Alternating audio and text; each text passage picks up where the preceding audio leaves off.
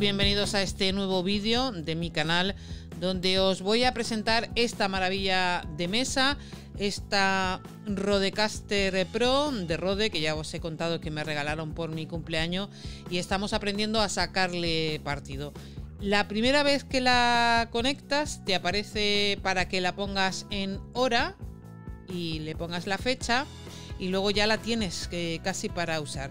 Aún así yo te recomiendo que vayas a la página de Rode, que no me patrocina, pero que todo se andará para que mm, la actualices, además te bajes la aplicación con la que vas a controlar estos sonidos y además eh, también la puedes registrar, yo te recomiendo que lo hagas para que aumentes, por ejemplo, el plazo de garantía. Es una maravilla de mesa, tiene muchísimas opciones y además de una manera fácil, sin tener muchos conocimientos profundos. Pero ojo, conviene que bueno, le eches un vistazo a tu mesa para que sepas qué posibilidades tienes y las opciones que tiene, las maravillas que tiene, no se conviertan en eh, trampas.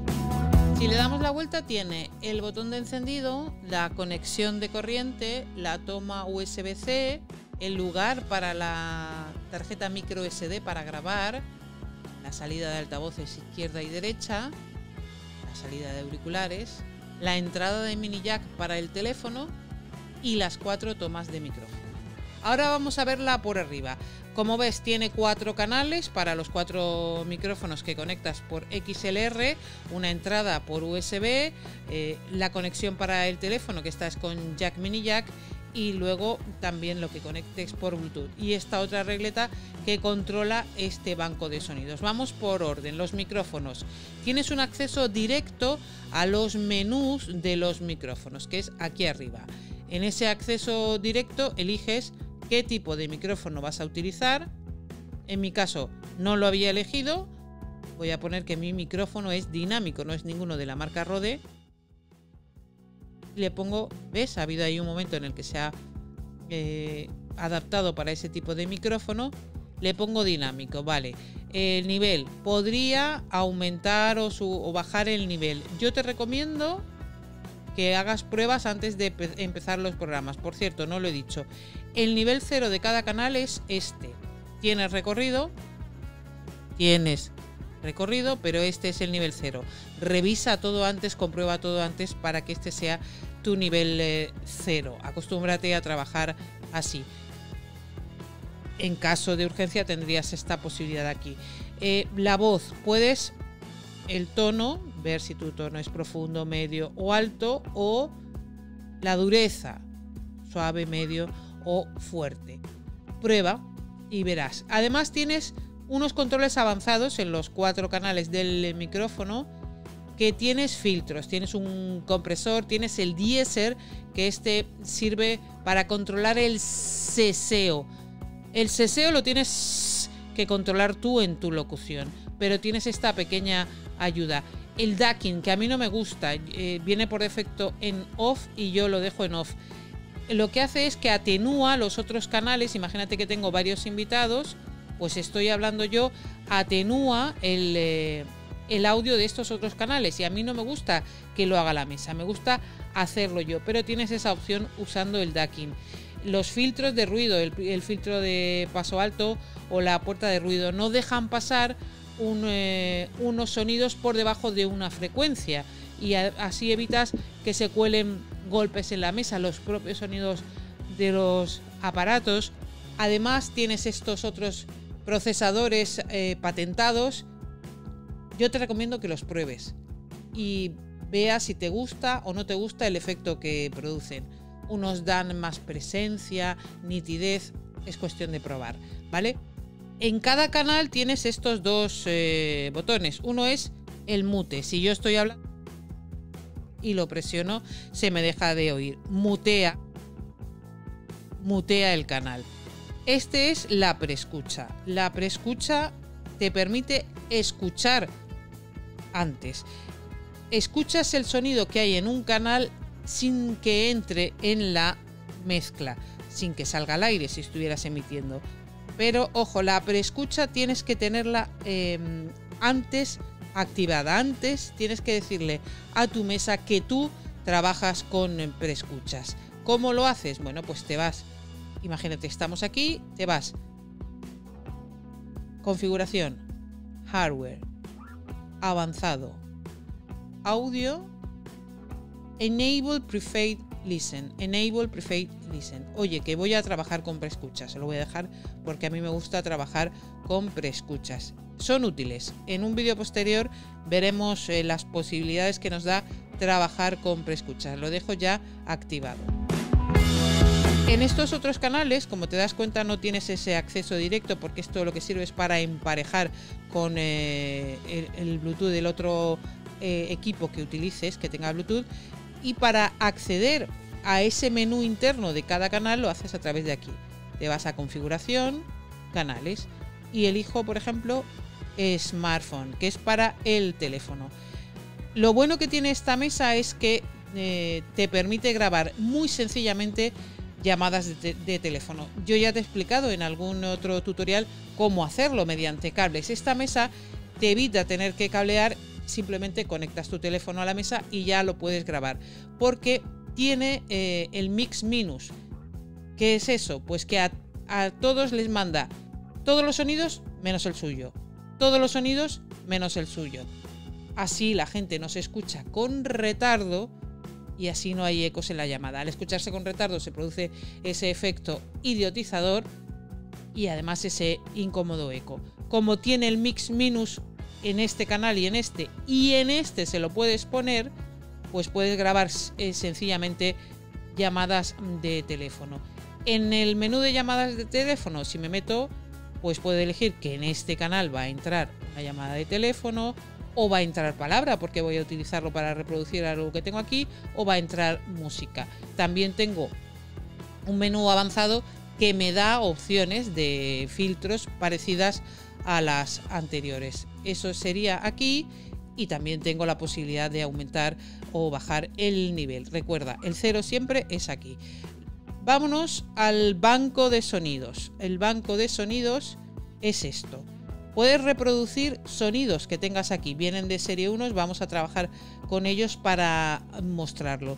Esta es la regleta que controla este banco de sonidos y esto es muy útil porque puedes tener las sintonías, los efectos, las caretas de tu programa, pero además puedes tener grabaciones previas que hayas realizado para tu programa. Em, ¿Cómo controlas lo que tienes aquí? Bueno, pues hay dos fórmulas. Eh, una entrarías en configuración, sounds, y aquí ves lo que tienes en las regletas. Puedes tener hasta 8 bancos de sonido. He dicho regletas y es en las botoneras, ¿vale? Lo que tienes en cada botonera.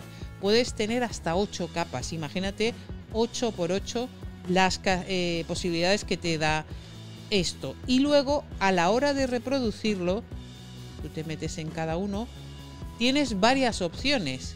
Latch, le damos al play. Paro. Siempre vuelve al inicio. Pause. Paro. Está en pause, por eso parpadea. Y no ha vuelto al inicio. Está donde lo habíamos dejado. ¿Lo oyes? Vamos a probar replay. Replay.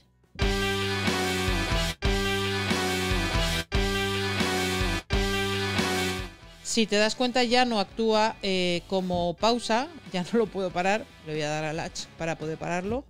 Ya no actúa como pausa, sino cada vez que le doy funciona. Cada vez que le doy funciona. Y el play, ¿qué pasa con el play? El play es... Vamos allá.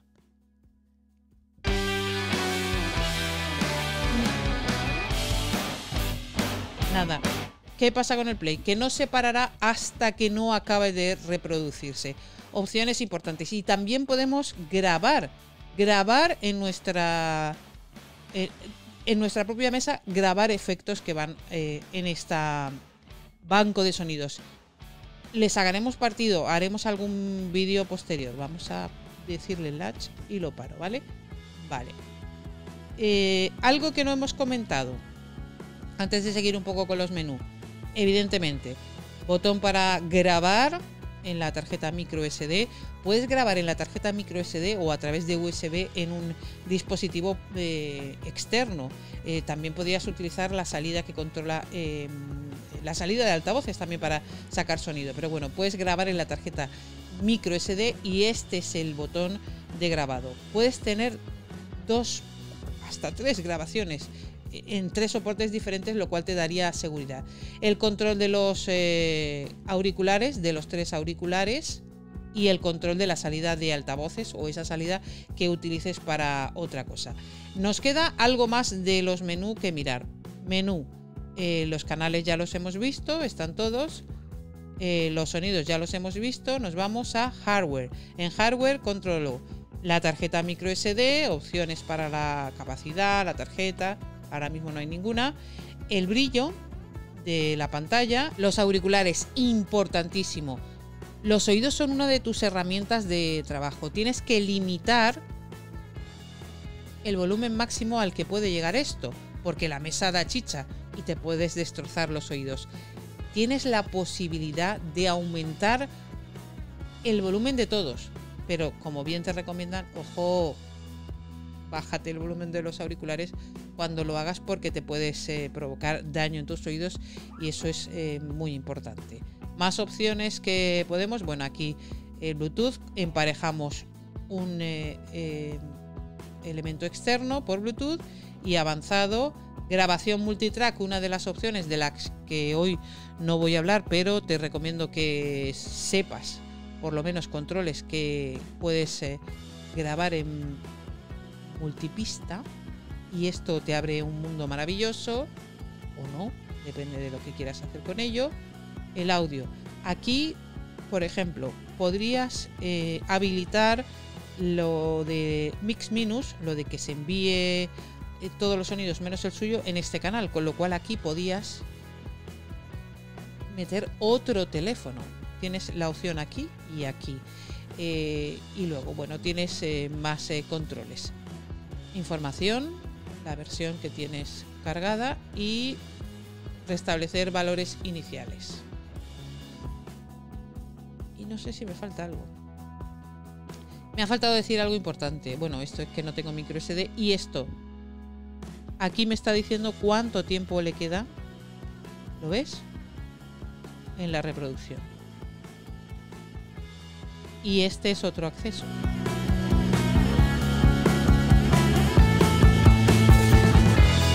Bueno, pues hasta aquí esta primera aproximación a nuestra Rodecaster Pro. Veremos con más profundidad algunos aspectos en próximos vídeos en este canal. Ya sabes, si te gusta, comparte y suscríbete al canal de El Recuento. Me puedes seguir en Twitter, arroba el guion bajo recuento. Y nos vemos pronto. Chao.